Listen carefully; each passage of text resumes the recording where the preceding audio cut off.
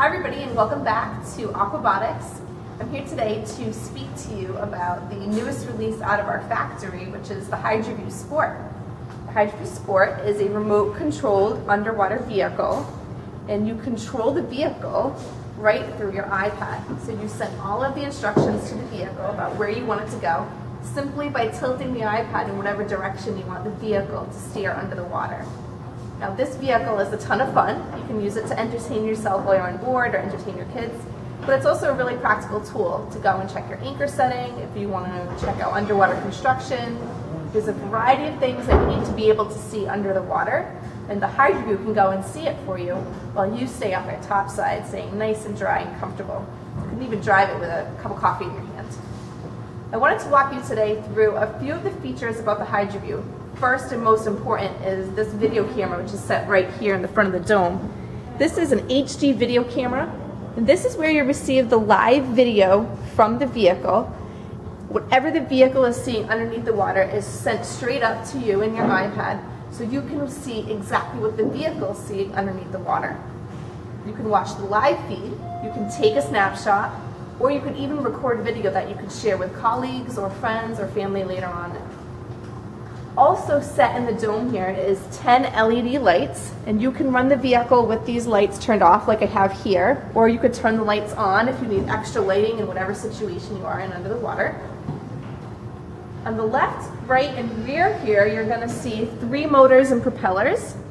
These are high tension motors which are used for sending the vehicle forwards and backwards, left and right here in the front. And in the rear, your rear motor prop controls the pitch of the vehicle, so tilting the vehicle up or down depending on what direction you want to go in the water. It comes standard with 75 feet of cable. We do do optional lengths up to 200 feet. The vehicle has a depth rating of 150 foot deep, which is great because you're able to go down there and really far and see a lot of the different things that you'll need to be able to see. Going up the cable length all the way here to this little box, this is called the topside box.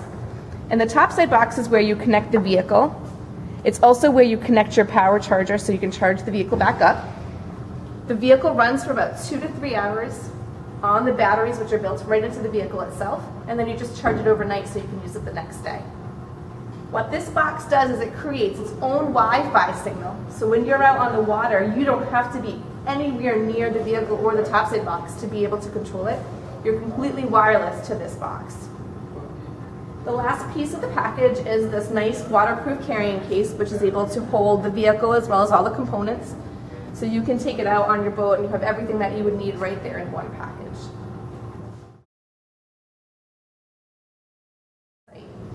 I'd like to take the time to show you what you would do when you get down to the water to just get this ready to go.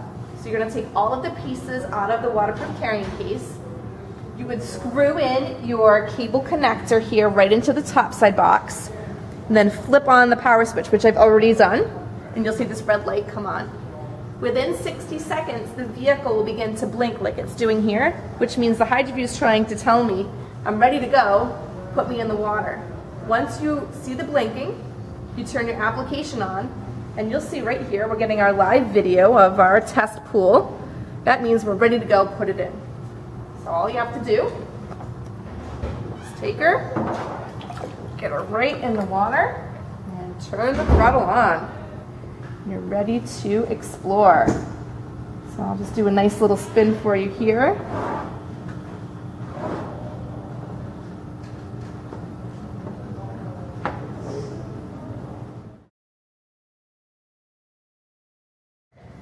So now that I've had a chance to walk you through the vehicle as well as all of the pieces of the package, I'd like to take the opportunity to show you the application. The application is going to be the controlling feature that's going to drive the vehicle through the water as you hold your iPad. So the first and most important control is the joystick control. As soon as you press your finger on the screen, you'll see a joystick appears, and that allows you to steer the vehicle either left or right. Or you can also tilt the vehicle up or down depending on where you need to drive in the water. Now, if you would rather use motion control instead of the joystick control, all you need to do is go into the settings menu and you'll see here you have the option to turn motion control on or off. And if you turn motion control on, you drive the vehicle using the gyroscope and the iPad, which means all you need to do is tilt the iPad in whatever direction you like the vehicle to drive, and it'll steer the vehicle in that direction. Also in the settings menu, you see that you have the option to change the video resolution of the video feed, as well as the focus of the camera. So you can either use the automatic focus or you can turn the manual focus on, which allows you to focus the camera on something close to you or far away. The last feature here is the dome lights feature. This allows you to control the LED lighting of the vehicle. You can turn the lighting up or down depending on the situation. On the left-hand menu bar, you'll also see we have a help menu, and this help menu brings up the user manual of the HydroView. That way, if you have any questions while you're out on the water using your vehicle, you can refer to the manual to help you answer those questions. On the right-hand side of the application, you'll see that we have two controlling bars here. The first is the bottom bar, and this controls the thrust of the vehicle. You can go one-thirds, two-thirds, or full power forward, which would bring you to five knots forward. You can also go reverse, which would bring you one knot in reverse.